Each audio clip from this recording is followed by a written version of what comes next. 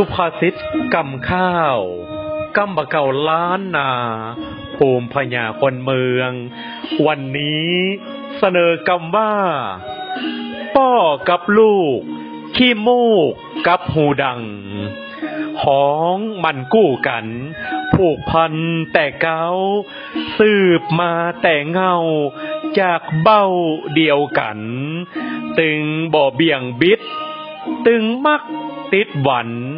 สืบกรรมพันธ์เหมือนกันเปิ้นเบ้า ปิตากุนดัง ผู้บังเกิดเก้า เป็นดังปินเตา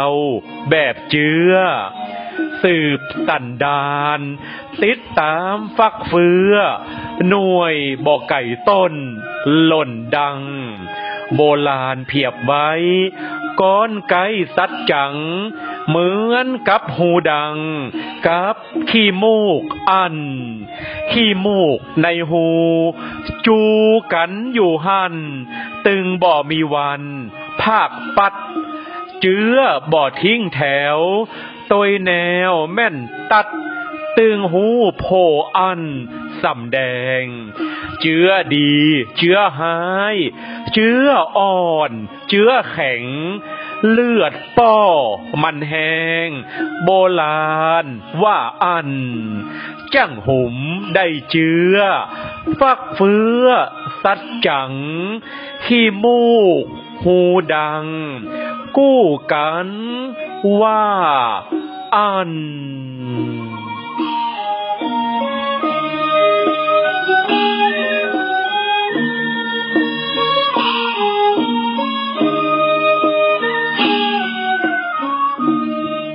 กับลูกขี้มูกกับหูดัง ความหมายของกู้กันของเกิดกับกัน หรือสิ่งที่เกี่ยวเนื่องกันมา อุปมาเหมือนดัง โบราณเปรียบเทียบว่า พ่อกับลูก ผูกพันเกี่ยวข้องกัน ในฐานะผู้ฮือกำเนิด และผู้สืบสายเลือด เหมือนดังขี้มูกที่เกิดในและอยู่กู้กับหูดัง คติสอนใจ ตัวอย่างที่ดี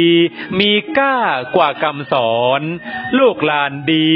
เพราะมักได้แบบอย่างที่ดีจากพ่อแม่และบุพการีชน สุภาษิต กำข้าวกำบะเกาล้านนา